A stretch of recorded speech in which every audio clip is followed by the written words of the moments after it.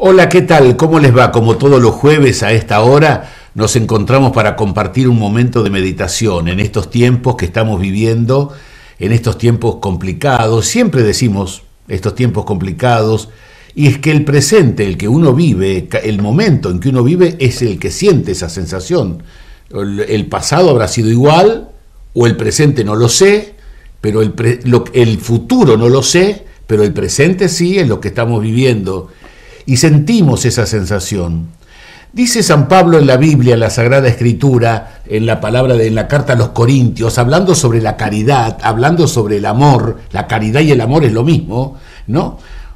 Ese, hablando hace el himno famoso de la caridad de San Pablo, dice que el amor o la caridad todo lo puede, todo lo espera, todo lo soporta. El amor o la caridad no es envidioso, no es jactancioso, no se alegra con las desgracias de los demás, todo lo contrario el amor todo lo puede, todo lo soporta, todo lo espera, el amor o la caridad. Estamos viviendo en un tiempo en que uno puede cerrarse totalmente al otro o abrirse generosamente al otro. Porque uno puede decir, yo estoy complicado. Si leemos las encuestas que publican en estos días la Universidad Católica Argentina y Cáritas Nacional, nos estremece acerca de la pobreza varios millones, cerca de 18 millones de nuestros compatriotas argentinos sufren necesidades graves y serias y muchos millones casi no pueden, sienten hambre todos los días. Esa es la realidad, que a veces nosotros no la vemos. Por eso San Pablo viene bien leer a la carta de San Pablo el himno a la caridad. El amor todo lo puede, la caridad todo lo puede, todo lo espera, todo lo soporta, pero debemos hacerlo. Debemos ayudar. A veces nosotros nos podemos decir, bueno, pero ¿qué podemos hacer ante esa realidad?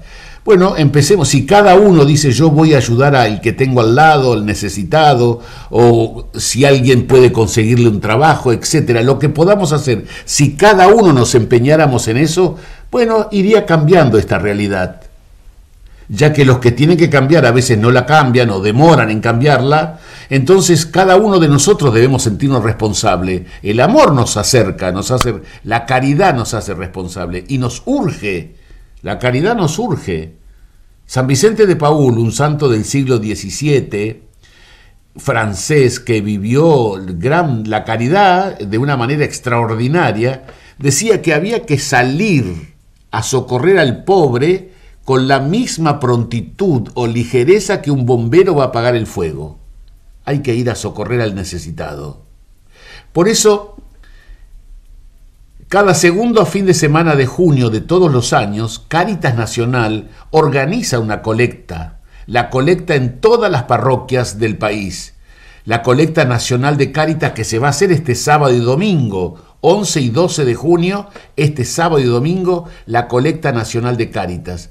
Cada uno con el pequeño, mucho, poco aporte que podamos hacer, estamos ayudando a un necesitado. Cáritas, como sabemos, lo distribuye en toda la obra que realiza en el, a lo largo y ancho de nuestro país, ¿no? Con los comedores, las salas de primeros auxilios, la, la escuela, apoyos escolares, en fin, toda la tarea social que puede y debe realizar la Iglesia a través de Cáritas, ¿no? Ese canal oficial de la Iglesia que es Cáritas. Vamos a pedirle al Señor para que seamos generosos, como siempre, con esta colecta que se va a realizar.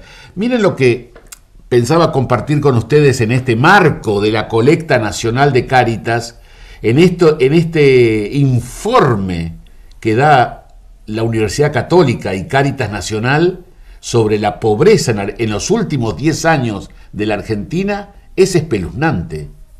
Es la mitad del país está sufriendo y más, especialmente los jóvenes. Dice el Salmo 40, mire el Salmo 41 en la Sagrada Escritura, en la Biblia, el salmista dice, feliz el que se ocupa del débil y del pobre, el Señor lo, lo librará en el momento del peligro. Es decir, la caridad vuelve a mí. Decía San Francisco, San Francisco de Asís en su famosa oración decía, dando se recibe, porque yo doy también recibo. No solamente el, uno recibe más a veces de lo que da, recibe mucho más de lo que da. dando se recibe, el que da recibe. Y dice el salmista, feliz el que se ocupa del débil y del pobre. El Señor lo ayudará, lo librará, lo, lo protegerá, dice, en el momento del peligro. ¿Por qué? Porque vive la caridad. La caridad es el camino de la perfección. Si queremos ser perfectos, debemos vivir la caridad. No podemos ser, tratar de ser buenos e ignorar la dificultad de los otros o negar la mano que yo puedo dar a otro. Hay mucha gente solidaria, muchísima gente solidaria que aporta su tiempo, ¿no? No solo dinero, ¿eh? A veces su tiempo, su talento a las organizaciones sociales, en las distintas ONG de nuestra ciudad, en fin, ponemos al servicio del otro lo que Dios nos ha dado. Eso también es caridad. Feliz el que se ocupa del débil y del pobre. El Señor lo librará en el momento del peligro. El Señor, sigue insistiendo el salmista, el Señor lo protegerá y le dará larga vida. Lo hará dichoso en la tierra. El que da recibe. El que da recibe. El que da con alegría recibe más todavía, ¿no? Y dice, el Señor lo hace dichoso en la tierra. La alegría que sentimos en nuestro corazón cuando experimentamos que podemos ayudar a alguien, ¿no les parece? ¿No, no lo han vivido ustedes? Sentir una paz, una alegría, eh, de haber podido ayudar a alguien, ¿no? Dice, el Señor lo protegerá y le dará larga vida y lo hará dichoso en la tierra, y no lo entregará a la avidez de sus enemigos el Señor lo sostendrá en el lecho de dolor y le devolverá la salud.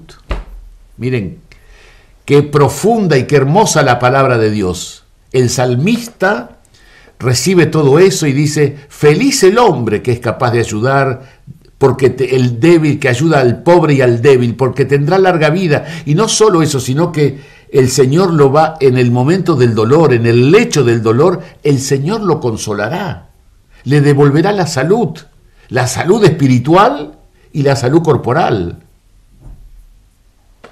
Yo dije, ten piedad de mí, Señor, sáname, porque pequé contra ti, mis enemigos solo me auguran desgracia. ¿eh?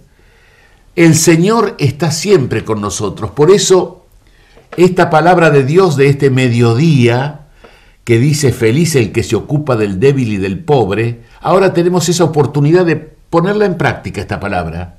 Este fin de semana seamos generosos, abramos el corazón a las necesidades de nuestros hermanos en la colecta nacional de Cáritas, en todas las misas de la ciudad, en las tres parroquias, en las capillas, todas las misas, las colectas de todas las misas y en todo el país será para Cáritas Nacional.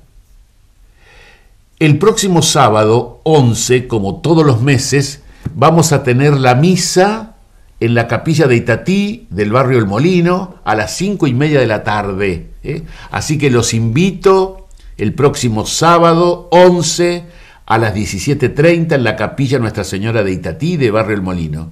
Muchísimas gracias, que la pasen ustedes muy bien, seamos generosos y caritativos y el Señor nos va a bendecir. Hasta el próximo jueves si Dios quiere.